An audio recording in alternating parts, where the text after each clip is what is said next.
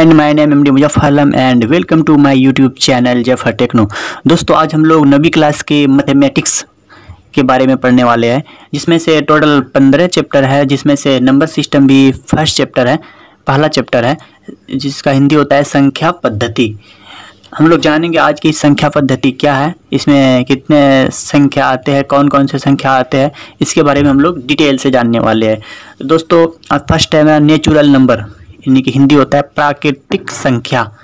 प्राकृतिक संख्या किसको कहा जाता है? गिनती की संख्या को प्राकृतिक संख्या कहते हैं। प्राकृतिक संख्या किसको कहते हैं? गिनती की संख्या को हम प्राकृतिक संख्या कहते हैं। जैसे एग्ज़ाम्पल में है वन टू थ्री फोर ऐसे करके अनंत तक गिनती की संख्या को, जैसे मेरा यह हाथ है, इसमें पाँच उंगली है। तो हम यहाँ से स्टार्ट करते हैं। एक, दो, तीन, चार, पाँच। ना कि हम ज़ीरो से स्टार्ट करते हैं। तो गिनती की संख्या को क्या बोले जाते हैं? गिनती की संख्या को प्राकृतिक संख्या कहा जाता है। नेचुरल नंबर कहा जाता है। समझ गए दोस्तों?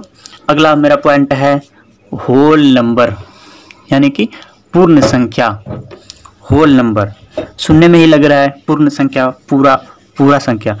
जो पूरा होल नंबर क्या होता है? जो ज़ीरो से शुरू हो और इन्फिनेटी तक, यानी अनंत तक जाए, उसी को होल नंबर कहते हैं। जो शून्य से शुरू होकर के अनंत तक जाए, उसी को क्या कहते हैं? होल नंबर कहते हैं। से एग्जांपल में ज़ीरो वन टू थ्री अनंत अनंत तक जाएँगे। तो इसी को क्या कहता है? पूर्ण संख्या। अब एक क्वेश्चन आता है कि सभी नेचुरल नंबर होल नंबर है। जी हाँ क्योंकि यह एक से स्टार्ट होता है और यह ज़ीरो से ज़ीरो से लेकर के अनंत तक, या एक से लेकर अनंत तक। तो सभी प्राकृतिक संख्या पूर्ण संख्या होती है, लेकिन सभी पूर्ण संख्या प्राकृतिक संख्या नहीं होता है। तो इसको ध्यान में रखिएगा। चलिए, अगला पॉइंट है मेरा। सम संख्या, यानी कि इवेन नंबर। अब इवेन नंबर किसको कहेंगे? तो जानेंगे। वैसी संख्या वैसी संख्या जिसमें दो से भाग देने पर शेष फल ज़ीरो या दो से भाग देने पर पूरी पूरे विभाजित हो जाए तो उसे क्या कहेंगे? उसे कहेंगे सम संख्या। उसी को क्या कहेंगे? सम संख्या कहते हैं, जो दो से पूरी पूरी विभाजित हो जाए। एग्ज़ाम्पल में देख लेते हैं। दो, चार छ सॉरी ये चार है। छ आठ, ऐसे करके हम लोग लेंगे, जो दो से पूरी पूरी विभाजित हो जाए, उसे क्या कहेंगे? सम संख्या कहेंगे। अगला पॉइंट है मेरा, विषम संख्या। सम संख्या का जस्ट अपोजिट है, विषम संख्या। और नंबर। वैसी संख्या जो दो से पूरी पूरी विभाजित ना हो, यहाँ पे देखिए ना हो है। वैसी संख्या जो दो से पूरी पूरी विभाजित ना हो, उसी को क्या कहेंगे? विषम संख्या कहेंगे उसी को, और नंबर कहेंगे। जैसे देखते हैं एग्ज़ाम्पल में वन हो गया थ्री हो गया फाइव हो गया सेवन हो गया। जब इससे हम दो से भाग देंगे तो इसमें शेषफल कुछ ना कुछ बच जाएगा। पूरी पूरी भाग नहीं लगेगा। तो इसी को क्या कहेंगे? और नंबर। विषम संख्या। चलिए अगला पॉइंट देखते हैं। दोस्तों, अगला पॉइंट चलने से पहले एक छोटा सा मोटिवेशनल क्वेट है, जब तक तोड़ेंगे नहीं, तब तक छोड़ेंगे नहीं।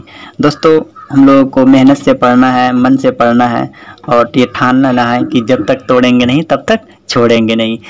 और मेरा रिक्वेस्ट है, जो मेरे चैनल पे नए है, वो मेरे चैनल को प्लीज़ सब्सक्राइब कर दे लाइक करें और कमेंट करें, और बेल को भी बजा दें ताकि बेल को भी ऑन कर दें ताकि आने वाले वीडियो का नोटिफिकेशन आप तक पहुँच सके। तो चलिए अगला पॉइंट पे हम लोग बात करते हैं। चलिए दोस्तों, हमारा जो अगला तो अगला पॉइंट है, वो है प्राइम नंबर और भाज्य संख्या। ये महत्वपूर्ण है, काफ़ी एग्ज़ाम में इसके रिलेटेड क्वेश्चन भी पूछा जाता है। प्राइम नंबर वैसी संख्या, जिसका केवल दो गुणनखंड हो, उसे ही अभाज्य संख्या कहते हैं। आज तक आप लोग पढ़े होंगे कि वैसी संख्या जो एक से और अपने से विभाजित हो उसे ही प्राइम नंबर कहते हैं। नहीं, यह मेरे हिसाब से गलत है, क्योंकि देखिए, एक एक जो है, ये तो खुद से विभाजित हो ही रहा है, और अपने से विभाजित हो, अब खुद से विभाजित हो रहा है और एक से विभाजित हो रहा है। इसका मतलब ये भी प्राइम नंबर है, जबकि एक प्राइम नंबर नहीं है। तो हम लोग आज से ये वाला डिफिनेशन याद नहीं रखेंगे। डिफिनेशन याद रखेंगे, वैसी संख्या जिसका केवल दो गुणनखंड हो, उसे ही उभाज्य संख्या कहते हैं। जब एक का हम देखते हैं तो केवल एक ही गुणनखंड है, इसीलिए प्राइम नंबर नहीं है। एग्ज़ाम्पल में देखते हैं, दो। दो का जब गुणनखंड करते हैं, एक से भी ये गुणन विभाजित हो रहा है, और यह खुद से अपने से। तो इसका मतलब क्या हुआ? दो गुणनखंड हो। दो से अधिक भी ना हो, और दो से कम भी ना हो। तो ऐसे हम संख्या को क्या कहेंगे? प्राइम नंबर और संख्या कहेंगे। जैसे थ्री हुआ, एक से विभाजित हो रहा है और तीन से विभाजित हो रहा है। तो ऐसे मान के चलिए नौ देखते हैं।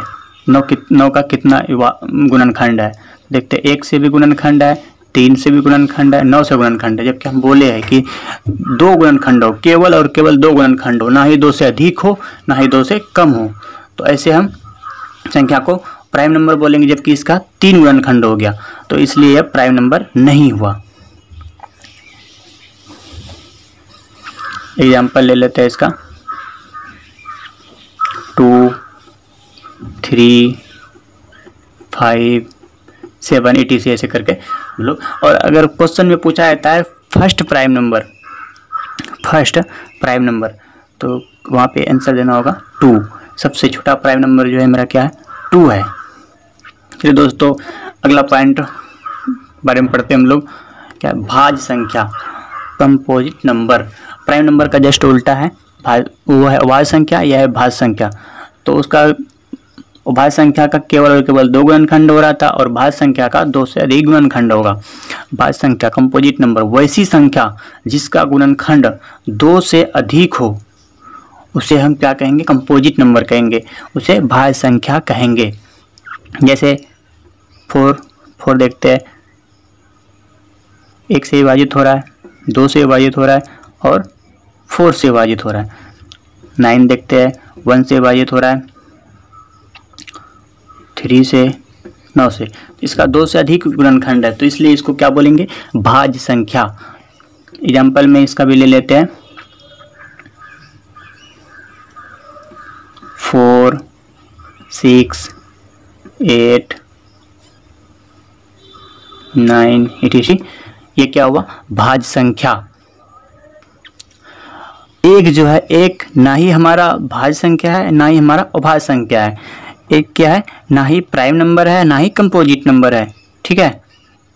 अगला पॉइंट है मेरा। परिमेय संख्या। परिमेय संख्या किसको कहेंगे? वैसी संख्या जिसे हम p बट्टे क्यू के रूप में लिख सकते हैं, उसे हम परिमेय संख्या कहते हैं और q बराबर p बट्टे क्यू में, p बट्टे क्यू के रूप में तो लिख सकते हैं, लेकिन q बराबर ज़ीरो नहीं हो। ठीक है? देखते हैं कौन कौन सा संख्या आ रहा है। तो जैसे वन बाय टू देखते हैं, थ्री बाय फोर देखते हैं। ये क्या है मेरा प्राइम नंबर क्योंकि क्यू बराबर यहाँ पे ज़ीरो मेरा नहीं है। यहाँ भी क्यू बराबर क्या है? ज़ीरो मेरा नहीं है यहाँ क्यू बराबर फोर है यहाँ क्यू बराबर ज़ीरो है। सॉरी क्यू बराबर टू है। इसलिए मेरा प्राइम प्रीमियर संख्या है।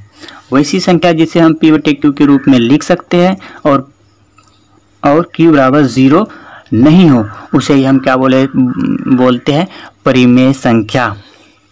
अब जो अगला पॉइंट है, वो है मेरा अपरिमेय संख्या। वैसी संख्या जिसे पी बट्टे क्यू के रूप में नहीं लिख सकते हैं, उसे हम बोलते हैं अपरिमेय संख्या। जैसे पाए क्या है? पाए मेरा है अपरिमेय संख्या। अब आप लोग बोलेंगे कि इसका तो मान बाईस बट्टे सात होता है, ये तो परिमेय होना चाहिए क्योंकि क्यू बराबर सात है। नहीं, ये बाईस बट्टे सात लगभग मान है, इसका एग्जैक्ट मान three point one four one, five and ऐसे करके होता है। तो ये लगभग मान हम लोग का बाईस बट्टे सात लेके हम लोग मैथमेटिक्स में यूज़ करते हैं, जबकि यह क्या है? अपरिमेय संख्या है। तो आज का क्लास यही तक रखते हैं। अगला टॉपिक हम लोग अगले वीडियो में बात करेंगे। दोस्तों, कैसा लगा वीडियो है ये मेरा आप लोग ज़रूर कमेंट में बताइएगा। जहाँ पे हम गलती कर रहे हैं, उसको भी बताइएगा, ताकि अगले वीडियो में हम उसको सुधार कर सके। और दोस्तों, एक खुशखबरी है, एक ट्वेल्व एलेवन ट्वेल्व वाले स्टूडेंट के लिए कि एक है, एक चैनल है और टू पॉइंट ज़ीरो।